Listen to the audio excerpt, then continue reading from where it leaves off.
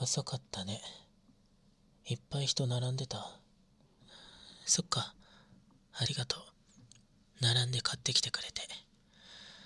お祭りに来たらどうしても、これ、たこ焼き、食べたくってさ。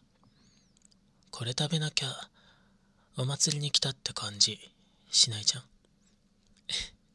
だよね。やっぱりお祭りには欠かせない。ねえ、とっておきの場所知ってるんだけど、そこ行かない？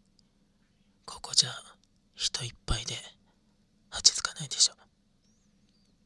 こっちこっち、ついてきて。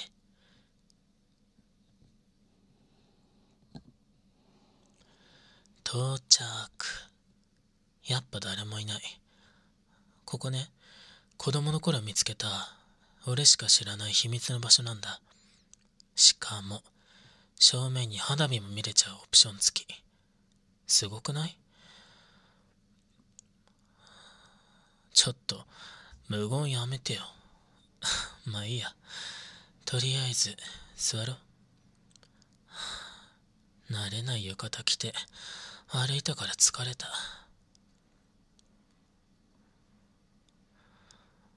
それじゃあ、たこ焼き、食べよっか。せっかくだし、あーんしてあげる。ここなら人いないし、恥ずかしくないでしょ。はい、口開けて。あー。あー大丈夫熱くない？はい、お水。お茶もあるよ。はい。どう？少しは落ち着いた？舌べーってしてみて。あ、赤くなってる。大丈夫かな？ちゃんと冷やさなきゃダメだよ。このたこ焼き、急いで食べるくらい美味しかった。ふん。じゃあ俺も一つ。熱い。美味しい。お祭りのたこ焼きって家で食べるのとは全然違う味なんだよね。美味しすぎて、ほっぺ落ちそう。ん？もう食べちゃったの？それじゃあほら、もう一個食べていいよ。でも、さっきみたいに急いで食べちゃダメだよ。ちゃんとフーフーして冷まして食べることう。ん？何？またお口開けて。まさか、また食べさせてほしいって言うんじゃ。子供じゃないんだし、自分で食べれるよね。わかったよ。仕方ないな。今日だけ特別だからね。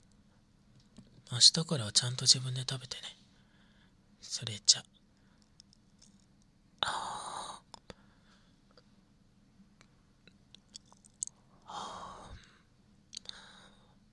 おいしい。おいしいの。おいしいの。うん。おいしそうに食べるね。君。その顔見てるとドキドキしちゃいそう。なんちゃって。